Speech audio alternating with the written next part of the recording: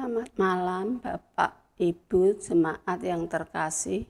Kita berjumpa di dalam program Mari Membaca Alkitab. Sebelumnya mari kita berdoa. Bapa yang di surga, terima kasih atas segala kasih anugerahmu sepanjang hari ini. Pada saat ini kami akan membaca firman Tuhan. Mohon pimpinan Tuhan agar kami dapat mengerti firman-Mu dan melakukan dalam hidup kami di dalam nama Tuhan Yesus. Kami berdoa. Amin. Tema hari ini adalah warisan. Bacaan terambil dari 1 Tawarik pasal 28 ayat 1 sampai dengan pasal 29 ayat 30. Daud mengumpulkan di Yerusalem segala pembesar Israel yakni para kepala suku, para pimpinan rombongan orang-orang yang melayani raja, para kepala pasukan seribu, kepala pasukan seratus, serta para kepala harta benda dan ternak kepunyaan raja dan anak-anaknya. Bersama-sama mereka juga para pegawai istana dan para perwira dan semua pahlawan yang gagah perkasa. Lalu berdirilah Raja Daud dan berkata, Dengarlah hai saudara-saudaraku dan bangsaku, aku bermaksud hendak mendirikan rumah penghentian untuk tabut perjanjian Tuhan, untuk tumpuan kaki Allah kita, juga aku telah membuat persediaan untuk mendirikannya. Tetapi Allah telah berfirman kepadaku, Engkau tidak akan mendirikan rumah bagi namaku, sebab engkau ini seorang prajurit dan telah menumpahkan darah. Namun Tuhan, Allah Israel, telah memilih aku dari antara segenap puakku, untuk menjadi raja atas Israel selamanya. Sebab ia telah memilih Yehuda menjadi pimpinan dan puakku dari antara kaum Yehuda dan dari antara anak-anak ayahku. Ia berkenan kepadaku untuk mengangkat aku sebagai raja atas seluruh Israel. Dan dari antara anak-anakku sekalian, sebab banyak anak telah dikaruniakan Tuhan kepadaku. Ia telah memilih anakku Salomo untuk duduk di atas tahta pemerintahan Tuhan atas Israel. Ia telah berfirman kepadaku, Salomo anakmu dialah yang akan mendirikan rumahku dan pelataranku sebab aku telah memilih dia menjadi anakku dan aku akan menjadi bapaknya dan aku akan mengokohkan kerajaan sampai selama-lamanya. Jika ia bertekun melakukan segala perintah dan peraturanku seperti sekarang ini, maka sekarang di depan mata seluruh Israel, jemaat Tuhan, dan dengan didengar Allah kita, aku berkata kepadamu, perlihatlah dan tuntunlah segala perintah Tuhan, Allahmu supaya kamu tetap menduduki negeri yang baik ini dan mewariskannya sampai selama-lamanya kepada anak-anakmu yang kemudian. Dan engkau anakku Salomo kenalah Allah nya ayahmu dan beribadahlah kepadanya dengan tulus ikhlas dan dengan rela hati Sebab Tuhan menyelidiki segala hati dan mengerti segala niat dan cita-cita jika engkau menjadi dia, maka ia berkenan ditemui olehmu. Tetapi jika engkau meninggalkan dia, maka ia akan membuang engkau untuk selamanya.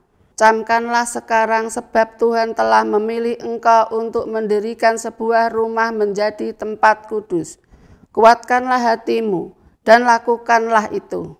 Lalu Daud menyerahkan kepada Salomo anaknya rencana bangunan dari balai bait suci dan ruangan-ruangannya, dari pembendaraannya, kamar-kamar atas dan kamar-kamar dalamnya, serta dari ruangan untuk nutup perdamaian. Selanjutnya rencana dari segala yang dipikirkannya mengenai pelataran rumah Tuhan dan bilik-bilik di sekelilingnya mengenai perbendaraan-perbendaraan rumah Allah dan perbendaraan-perbendaraan barang-barang kudus mengenai rombongan-rombongan para imam dan para orang Levi dan mengenai segala pekerjaan untuk ibadah di rumah Tuhan dan segala perkakas untuk ibadah di rumah Tuhan.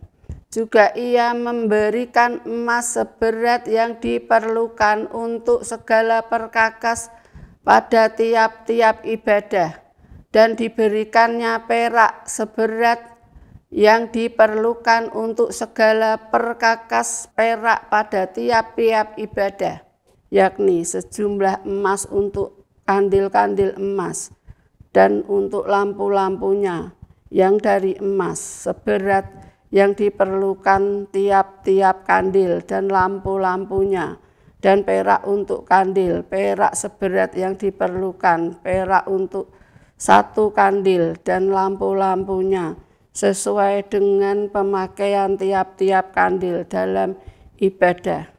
Kemudian diberikannya sejumlah emas untuk meja-meja roti sajian, meja demi meja, dan perak untuk meja-meja dari perak. Selanjutnya emas murni untuk garpu-garpu dan bokor-bokor penyiraman dan kendi-kendi juga untuk piala-piala dari emas seberat yang diperlukan untuk tiap-tiap piala, dan perak untuk piala dari perak seberat yang diperlukan untuk tiap-tiap piala. Juga emas yang disucikan untuk mesbah pembakaran ukupan seberat yang diperlukan dan emas untuk pembentukan kereta yang menjadi tumpangan kedua kerup yang mengembangkan sayapnya sambil menudungi tabut perjanjian Tuhan. Semuanya itu terdapat dalam tulisan yang diilhamkan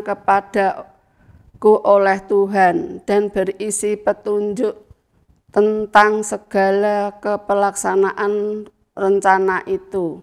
Lalu berkatalah Daud kepada Salomo, anaknya, Kuatkan dan teguhkanlah hatimu, dan lakukanlah itu. Janganlah takut dan janganlah tawar hati, sebab Tuhan Allah, Allahku, menyertai engkau. Ia tidak akan membiarkan dan meninggalkan engkau sampai selama pekerjaan untuk ibadah di rumah Allah selesai. Sesungguhnya rombongan para imam dan para orang Levi adalah melakukan segala ibadah di rumah Allah, dan ada beberapa sukarelawan yang ahli dalam setiap tugas yang dapat membantu engkau.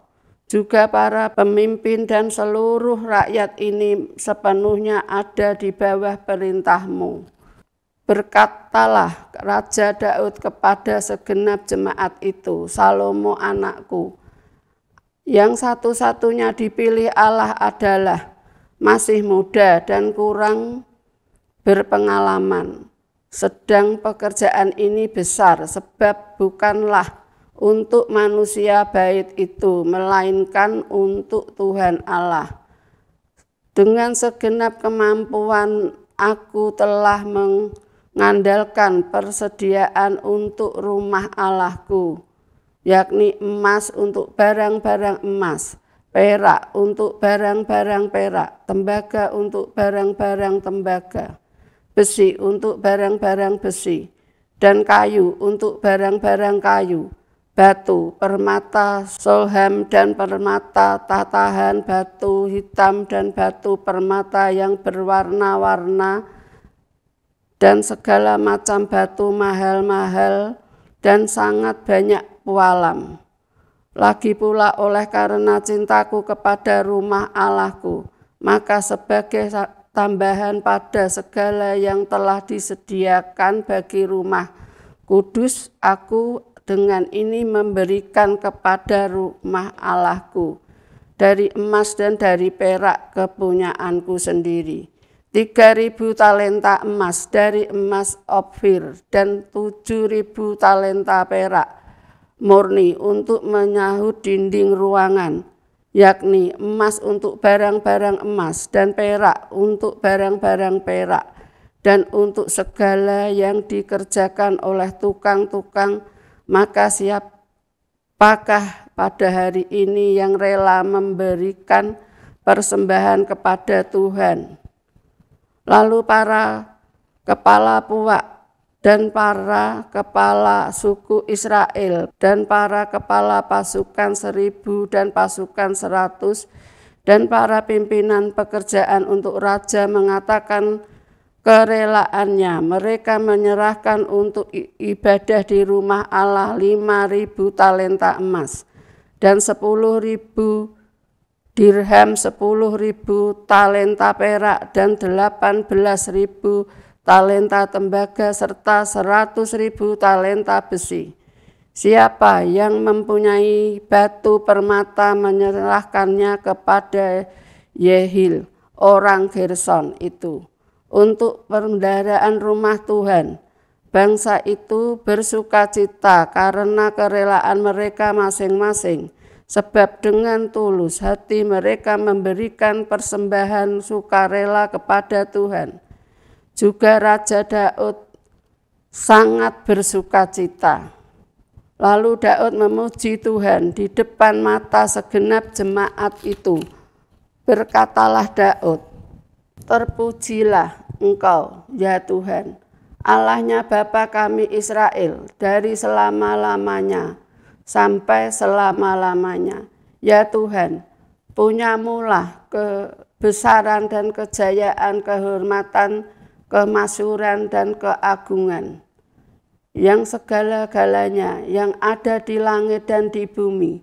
Ya Tuhan, punyamulah kerajaan dan engkau yang tertinggi itu melebihi segala-galanya sebagai kepala.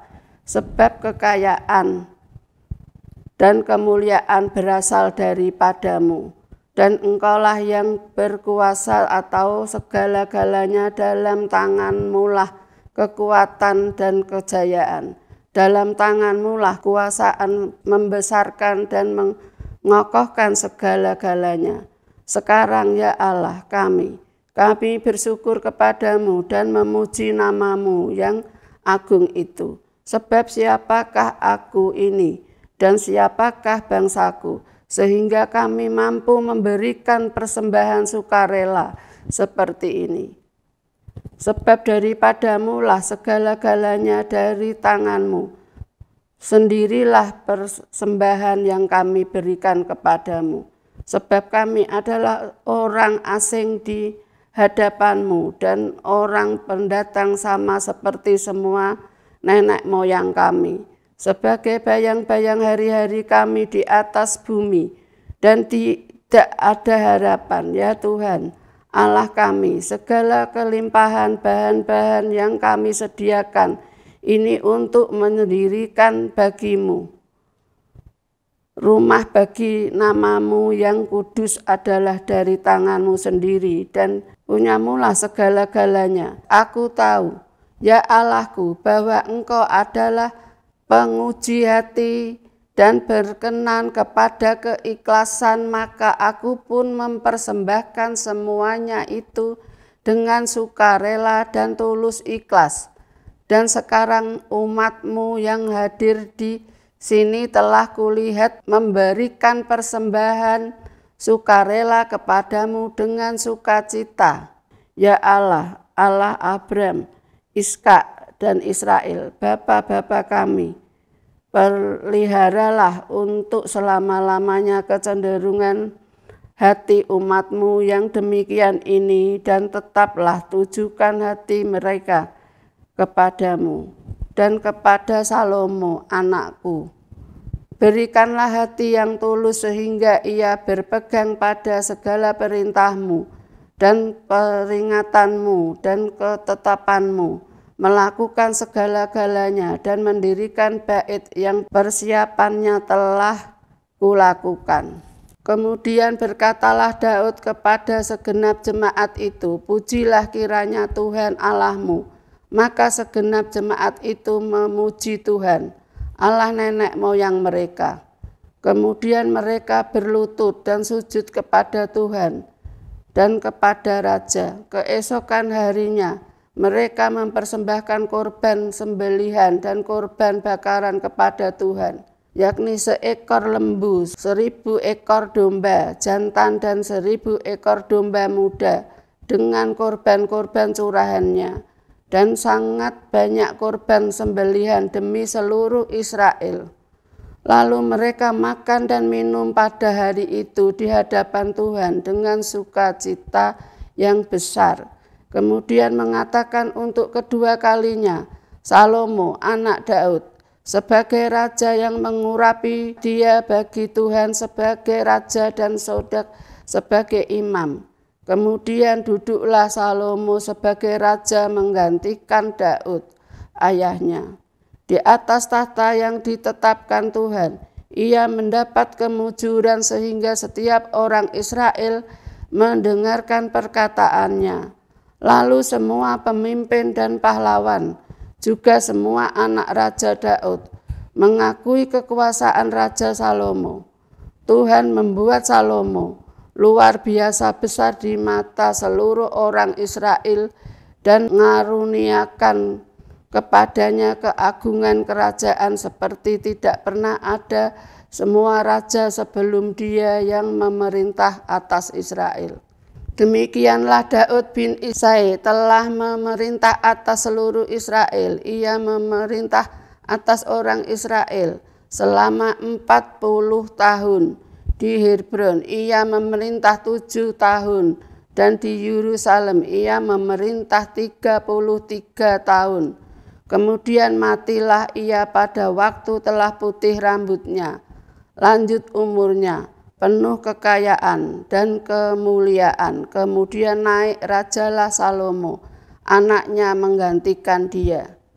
Sesungguhnya riwayat Raja Daud dari awal sampai akhir tertulis dalam riwayat Samuel, lihat itu dan dalam riwayat Nabi Nathan dan dalam riwayat Gad, lihat itu beserta segala hidupnya sebagai raja dan pahlawannya dan keadaan zaman yang dialaminya dan dialami Israel dan segala raja negeri-negeri lain. Demikianlah firman Tuhan, syukur kepada Allah. Warisan Ibu Bapa dan jemaat yang terkasih dalam Tuhan Yesus Kristus, setiap pemimpin dan pembesar di Israel datang. Raja Daud yang telah lanjut usia akan membacakan warisannya dan mereka semua berkumpul dengan harapan yang besar. Pikiran tentang perhiasan, barang antik yang berharga, dan tanah yang bernilai memenuhi benak mereka. Mereka berkesimpulan bahwa pembacaan warisan itu akan dipenuhi dengan harta yang tidak terkira banyaknya.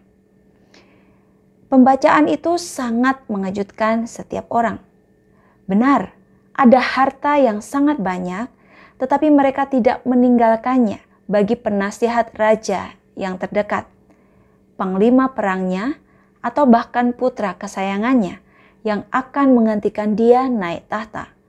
Daud meninggalkan harta kekayaannya bagi Tuhan. Setiap gram dari emas dan peraknya diberikan untuk membangun bait Allah. Warisan adalah sesuatu yang ditinggalkan dari satu generasi ke generasi berikutnya. Daud yang telah usur itu memutuskan untuk meninggalkan warisan yang akan tahan segala zaman. Ia tahu harta materi akan lenyap, tetapi harta dari Tuhan akan kekal selamanya. Ibu bapak jemaat yang terkasih dalam Tuhan Yesus Kristus, sebagai seorang yang telah lanjut usia, Daud memanggil semua jajaran pemerintahan di Israel untuk mendengarkan nasihatnya bagi Salomo anaknya, pewarisnya.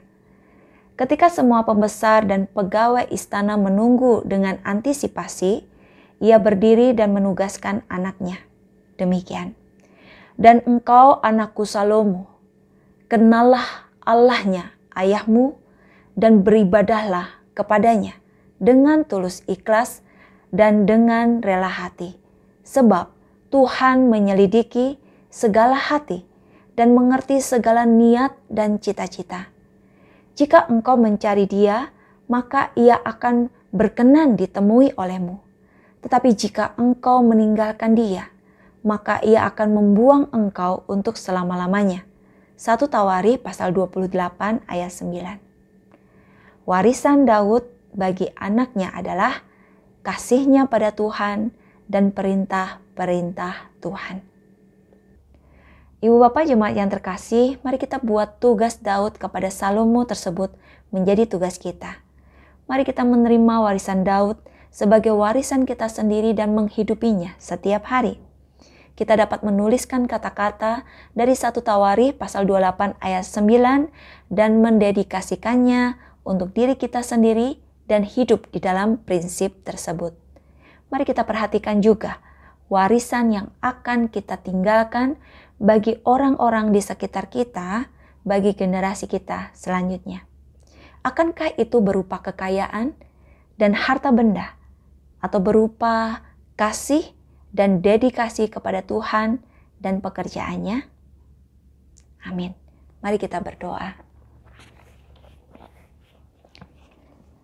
Tuhan, kami menerima pesan Daud pada Salomo sebagai milik kami. Kami akan belajar perintahmu dan melayani engkau dengan segenap hati dan senang hati. Kami mendedikasikan hidup kami pada jalanmu, karena kami tahu bahwa warisan kami akan kami tinggalkan bagi orang-orang di sekitar kami, bagi generasi kami selanjutnya. Kami ingin dikenal bukan karena kekayaan, harta, atau materi, tetapi karena kasih kami kepadamu ya Tuhan. Tolonglah kami semua. Sekali lagi, kami bersyukur atas segala cinta Tuhan yang boleh nyata bagi kami sehingga dapat menjalani hari ini dengan baik. Ampuni segala dosa dan kesalahan kami dan kami percayakan kehidupan kami tetap di dalam tangan pengasihan Tuhan. Di dalam nama Tuhan Yesus kami sudah berdoa. Amin. Selamat malam, selamat beristirahat. Tuhan Yesus memberkati kita semua.